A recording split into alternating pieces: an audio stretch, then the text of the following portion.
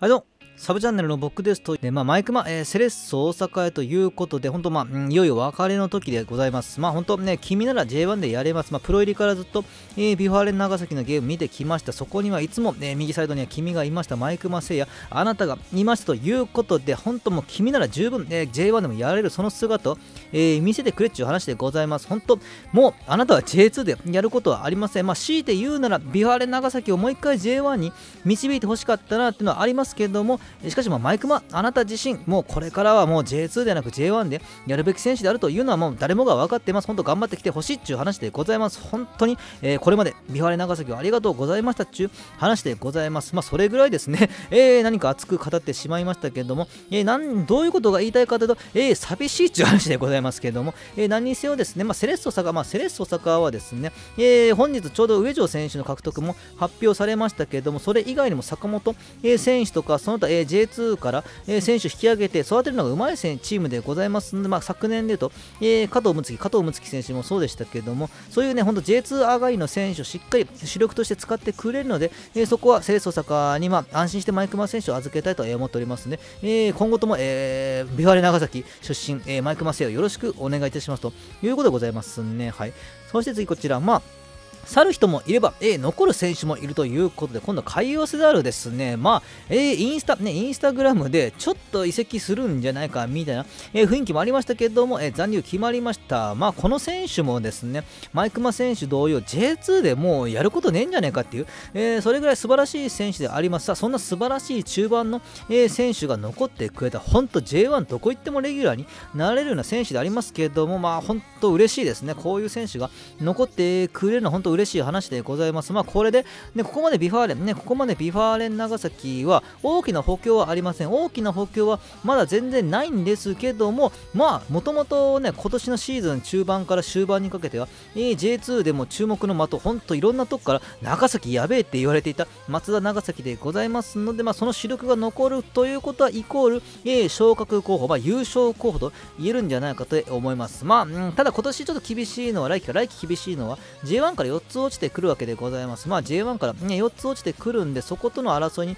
なるのは難しいんですけども、まあ来季は6位まで入ればプレーオフが待っているので、まずは6位、まあ今のままいくと6位以内は硬いとね、思うんですけども、もちろんそこは優勝を目指して頑張ってほしいと思いますし、まあ、優勝できるだけの戦力は、え、整っているんじゃないか。まあ、いつも僕はメインチャンネルの方では、浦和レッズプラス九州勢の応援をしておりますので、 V・ファーレン長崎とか大分のゲーム、今年来シーズンは J2、えー、注視になってくると思いますけども、えー、本当応援して、この2チーム、大分、 V・ファーレンが J1 昇格できるように、えー、応援をしていこうと思っておりますので、よかったら、えー、 V・ファーレン長崎のサポーターの方々、えー、来シーズンもよろしくお願いしますという話でございますね。はい。そして次こちら。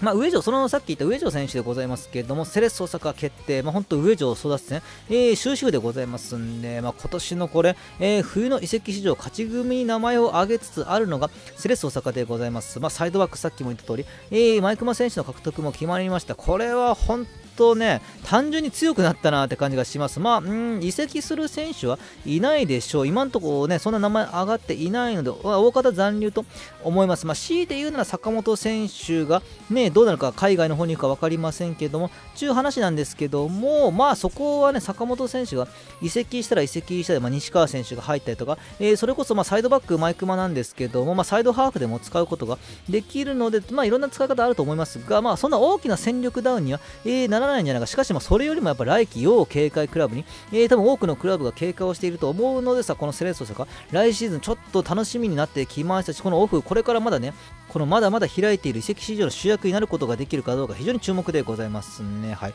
そして次、京都、え同じ関西からは、ね、京都でございますけども、京都は豊川選手、セレッソ大阪から、えー、獲得が決定的であるっていう話でございます。そして、えー、グランパスから山崎選手も狙っているよっていう話ですね。まあ、これで決まれば相当攻撃陣の厚みは出るんじゃないかと、え、思います。まあ、えー、途中からでも力が出せるこのマルチタレント、これが、まあ、タレントですね、マルチタレントなのが、えー、豊川選手なんですけども、まあ、この選手ね、やっぱ僕の中ではスーパーサブ、鹿島アントラーズ、えー、時代と、まあ、ベルギーだったからオイペンですね。オイペン時代のやっぱ活躍から、やっぱスーパーサブとしてのイメージが強いんですけども、この選手やっぱスタメンで使っても力出せるようになってきたんでね、まあ、ベンチに置いておいても切り札として使えますし、そこは非常に、えー、使い勝手の良い選手じゃないかと思いますね。そして、これで山崎選手も獲得できたら大きいよねって思っていて、山崎があれ行くのであれば、もしかしたらこれ、え、ピーター・ウタカ移籍なのか残留じゃないのかって話になっていたんですけれども、えー、おめでとうございます。ピーター・ウタカ選手、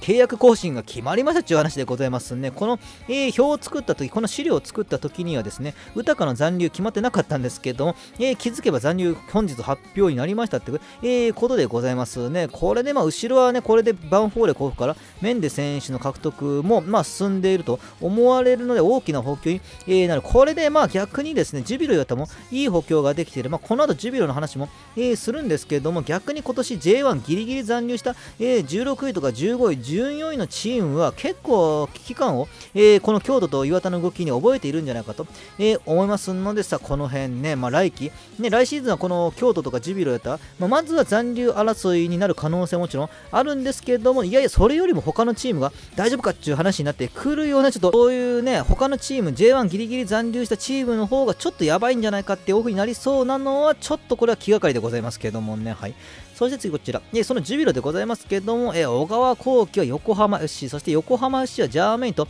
え袴田選手がジュビロへということで、まあ、実質トレードみたいな感じになるんですかね。え東京オリンピックエース候補で終わってしまった小川幸輝でございます。まあ、本当は東京オリンピックエース小川幸輝として出るべきだったオリンピックだったんですけれども、そもそも選ばれることがなかった、本当ここ数年の、ね、不調といいますか、そこはやっぱ気には、えー、なりますが、まあ、僕の中でだから水戸時代に小川選手と長谷部監督は一緒にやっていたので、まあ、福岡に行くんじゃないかと思ってましたけども、移籍先は横浜 FC ということになりましたね。まあ、そして、えー、ジャーメン、ジャーメンに関しては今年中盤から終盤、まあ、夏場以降ですね、大きな成長を見せていましたので、これは非常に大きな、えー、補強になるんじゃないかと、えー、思います。そしてセンターバック、アンダー24、えブラジル代表だった、えセンターバックの獲得もほぼほぼ決まりということで、非常にここもね、ジュビロも、えー、京都サンガと同じで良い補強ができているんじゃないかと思いますね。はい。そして次こちら最後ですね、えー、来季監督、大分下平監督決定ということで、まあ、下平監督、横浜 FC を、えー、G1 昇格に導いた監督でございます。まあ、あの時多分ね、横浜 FC の、なんだっけな、外国人監督の後を受けてシーズン途中で、えー、下平監督を引き受けての昇格だったんじゃないかと思いますけども、何にせよですね、まあ、近年の J2 の空気、ね、雰囲気を知っている下平監督の就任、これは非常に大きいんじゃないかと思いますね。そして、まあ、やるサッカーですね、サッカースタイルとしても、片野坂監督のサッカーと共通している部分は多いので、そこはまあ公認としては適任じゃないかと、えー、思います。あとは J2 での戦い方、これさっき言ったか、これもさっき言っちゃいましたけれども、えー、本当 J2 での戦い方をしている監督の収入は非常に大きいと、えー、思います。そしてあとはこのね、うん、下平監督、下平監督といえばボランチ手塚と一緒に移籍するイメージが僕はどうしてもあるので、まあ、この手塚選手の、えー、大分移籍もあるんじゃないかと、えー、個人的には、えー、思っているわけでございますけどもね。はい。ということで今回となりますね、まあ、本当移籍情報ドバッと来ましたね。明日金曜日、まあ、明日金曜日も、えー、ドバッと来る可能性あるんですけども、ちょっとね、僕が明日金曜日夜は家にいないので、多分朝の情報、多分朝収録して、朝までの情報を夕方出すみたいな形になると思いますけれども、そこ、えー、メインチャンネルともどもよろしくお願いしますということで、パルプンチジェルサッカーチャンネルサブの僕でした。えー、よろしくお願いします。さら